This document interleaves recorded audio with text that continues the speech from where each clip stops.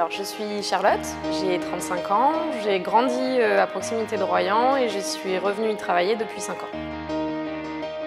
Je m'appelle Benoît Ragonneau, je fais partie d'un cabinet d'architecture que j'ai créé avec mon collègue euh, sur Royan il y a maintenant 30 euh, ans.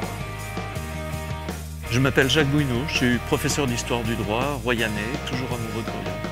Fait une ville qui est complètement emblématique, complètement unique en France, parce qu'il y en a eu d'autres qui ont été reconstruites, mais reconstruites avec autant de, de chiens, avec autant d'originalité, là, il n'y a que Royan.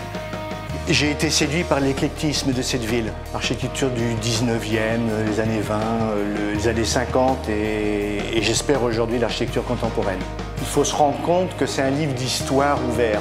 Ce que je trouve génial à Royan, c'est la façon dont cohabitent tous les styles architecturaux depuis 1890 à nos jours, parce que tout ça se côtoie et donne une richesse incroyable au patrimoine de la ville. Royan, Royan pour moi, c'est une ville qui est belle, qui mérite, et on ne le dit pas assez, euh, il faut la regarder sans doute avec d'autres yeux pour euh, réaliser que c'est vraiment une ville qui est magnifique. Alors ce qu'il y a d'extraordinaire à Royan, c'est le marché. Il a fallu que je voie une, une prise de vue aérienne pour m'apercevoir que c'était effectivement une coquille Saint-Jacques renversée.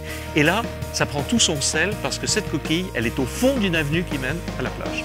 On exerce face à la mer, dans une villa des années 50, lumineuse, moderne, créative.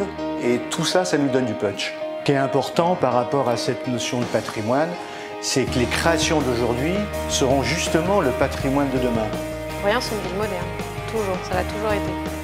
C'est euh, cette idée de euh, de faire en sorte que la ville soit toujours à la pointe de la modernité. La meilleure façon de voir Royan Flâner, lever le nez et s'étonner de trouver autant de richesses patrimoniales.